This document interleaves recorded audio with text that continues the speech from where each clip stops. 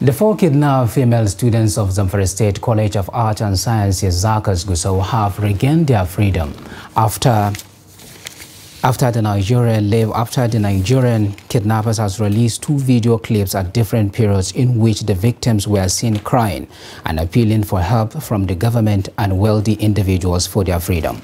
Mother of one of the victims died after watching the video.